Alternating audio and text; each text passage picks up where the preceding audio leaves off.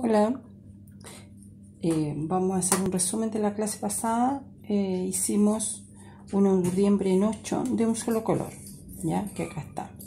Y yo le agregué el otro color, un café, para ver, para que ustedes vean eh, cómo va quedando cuando uno les va agregando colores o distintos tipos de, distintos colores de lanas. ¿Ya? Y en esta clase nos vamos a dedicar a hacer el tonón. ¿ya? Yo busqué una regla lo suficientemente ancha para hacer este efecto, ¿ya? Solamente para hacer los tonones que nos va a facilitar porque nosotros tenemos que abrir lanas, ¿ya? Esto se va a caer en el transcurso del trabajo de los tonones, se va a caer muchas veces, pero no pierdan la paciencia, ¿ya? Entre medio vamos a colocar la pitilla, ¿ya? Aquí, la pitilla. La idea es que estén así de abierto. ¿ya? La primera punta va a ir hacia mí y lo vamos a enrollar en la palma. Evitar hacerlo en los dedos porque uno termina achicando los dedos. Entonces vamos a tratar de envolver las pitillas, la pitilla en la palma de la mano. Entonces la primera punta va hacia mí y voy abriendo. ¿Ya? Abriendo y ahí yo levanto la pitilla, por tanto levanto una de las hebras o de las lanas y la enrollo. Y así voy haciendo con todas las lanas, ¿ya? Y voy enrollando.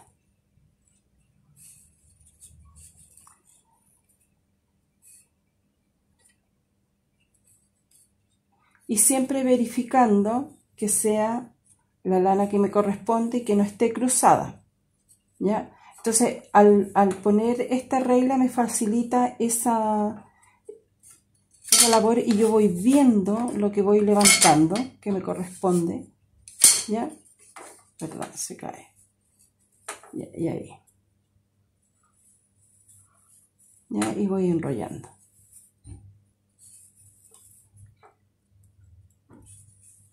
Así se hacen los tonones. Hay otros telares que vienen unos palos un palo atravesado y se va enrollando mi opinión personal Em, creo que esta es como la más sencilla. ¿Ya? Y yo voy enrollando. Se dan cuenta que yo voy abriendo y voy enrollando. Y verificando que voy levantando de un solo hilo. ¿Ya? Y cuando yo llegue a mi último hilo, la última punta va hacia delante.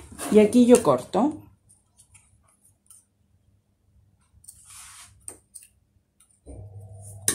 corto y esta la paso por entre medio de las pitillas anteriores de lo que yo había hecho el tono y aquí hago el nudo y tomo una, pan, una punta y la otra punta y voy haciéndole nudo aquí voy asegurando para que no se me abra ni se me desarme el tono ya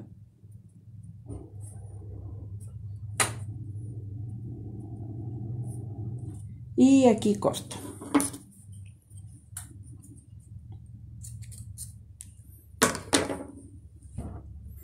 Este es el tono ya entonces yo ahora puedo sacar este palo ya el de arriba no se toca y aquí yo siempre hablo del cruce perfecto aquí no tiene que haber ningún hilo cruzado ni, de a dos hilos o de a dos lanas, ¿ya? Entonces, este va a ser el cruce de palo y este va a ser el cruce de tonón. Vamos a tener dos cruces, ¿ya? Entonces estamos listos. Aquí no se preocupen, aquí no se preocupen si queda todo cruzado, los hilos, porque este es el desperdicio. Uno después esto lo saca, ¿ya? ¿Ya? y ahora vamos a tejer.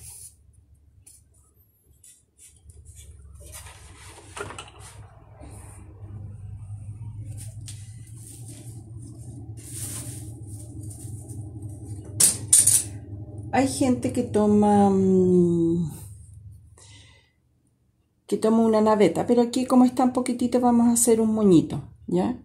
es, yo pongo una lana aquí y voy cruzándola entre el dedo meñique y el dedo pulgar y hago un moñito. Si no, hacen una pelotita no muy grande para que puedan pasar y voy cruzando.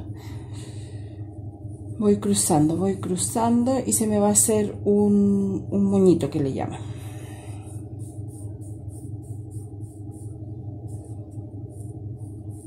¿Ya? Y después corto.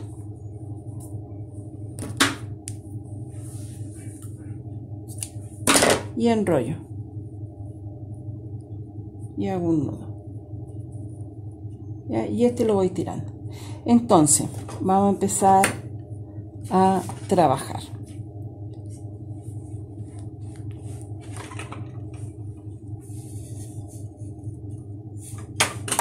Voy a subir un poquito para que lo vean.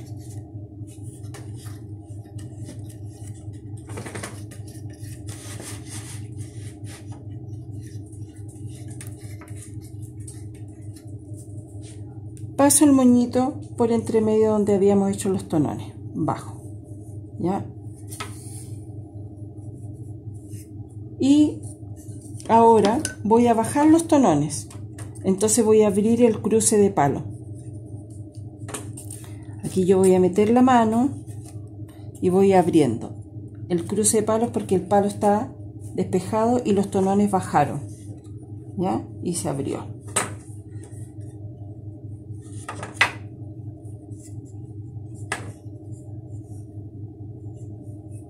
Y paso el moñito por entre medio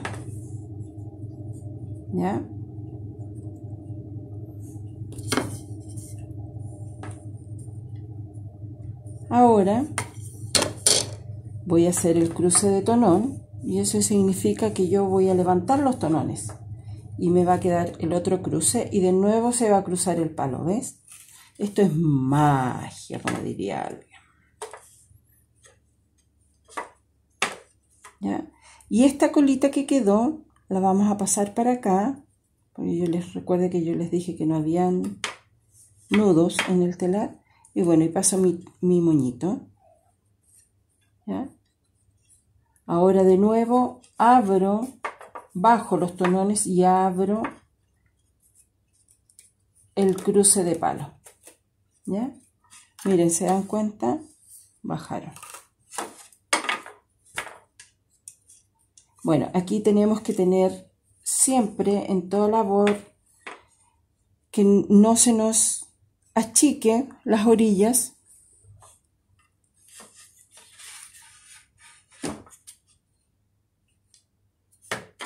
¿Ya? siempre manteniendo el mismo ancho y bueno y así se teje todo vamos entre el cruce de tonón, cruce de palo. ¿Ya? Y aquí siempre verificando, acá arriba, aquí arriba, que siempre esté el cruce perfecto. ¿Ya? Y voy bajando.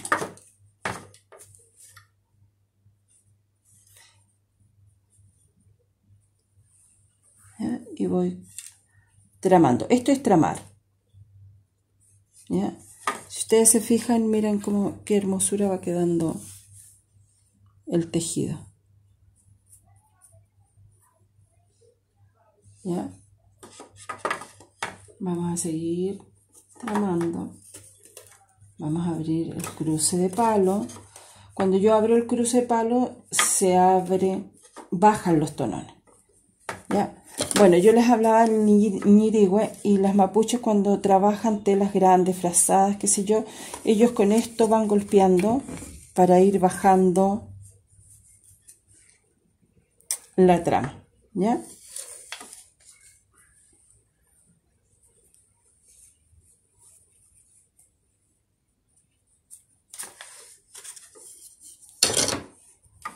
evitar mover los tonones, porque si empezamos nosotros a moverlo así, así, las lanas con el roce se van em, poniendo motudas y además eh, cuando es lana lana se van cortando. ¿Ya? Miren, díganme si no es hermoso. Con, un, con dos solo, con dos solo, con dos tipos o, con dos tonos de colores. Miren qué hermosura. A estos yo me refiero que es faz de urdiembre, porque el dibujo, yo con la urdiembre, ¿ah? en 8 que hicimos, yo eh, cuando voy tramando van saliendo las lanas. ¿ya? En el telar María, a diferencia, eh, se va viendo em, las lanas que yo voy pasando. Y bueno, yo les hablaba de que uno siempre tiene que tejer eh, con, con, las lanas que uno coloca en las orillas, porque si no se va, se va, va tomando, se va viendo eh, cuando yo voy pasando, si en este caso hubiese sido café, se van quedando aquí y no, no, no se ven bien, no, no es... Eh, las mapuches siempre nos enseñaron que uno tiene que trabajar con las lanas de las orillas.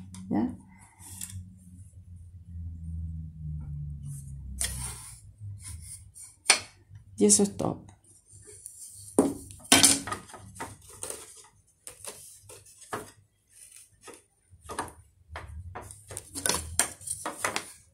Entonces cuando yo, cuando yo em, hago los trabajos más grandes, yo antes de volver a tramar, yo arreglo mi tejido. ¿ya? Veo que aquí por las orillas esté bien, que yo bajo, que estén todos derechitos, ¿ya?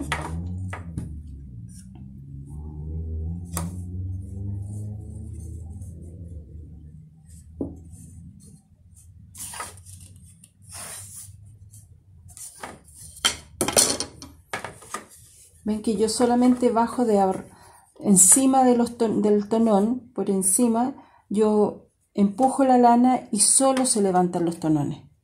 ¿ya? Entonces lo que yo tengo que hacer es trabajar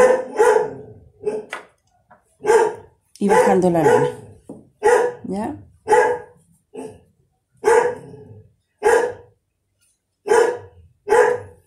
Y recuerden, dos cruces. Cruce tonón, así está abierto y aquí está cruzado arriba. Cruce de palo, yo abro y despejo el palo, por tanto automáticamente me bajan los tonones. Por eso yo les hablaba de lo ideal es de tener todos los tonones de un solo largo, que es el ancho de cada mano de uno, ¿ya? Si lo hacen en los dedos, como les decía yo, con los dedos uno termina achicando, entonces se van quedando cortos y nos cuesta eh, abrir los tonones. Cuando el tonón está mal, está mal hecho, los cruces siempre nos van a costar, ¿ya? Cuando llegue a suceder eso, ¿ya? Nosotros podemos desarmar los tonones, pero ¿cuándo? Cuando yo esté en el cruce de tonón. Por ejemplo, ahora estoy en el cruce de palo, ¿ya? Y ahora voy a levantar los tonones, ¿ya? Voy a levantar los tonones. Y aquí yo en este cruce yo puedo arreglar mis tonones. Yo bajo la lana, o sea, bajo eh, con el ñirigüe y pongo así y desarmo los tonones y los arreglo, ¿ya? La, el próximo video voy a volver a empezar haciendo los tonones para que no se compliquen si se les olvidó, ¿ya?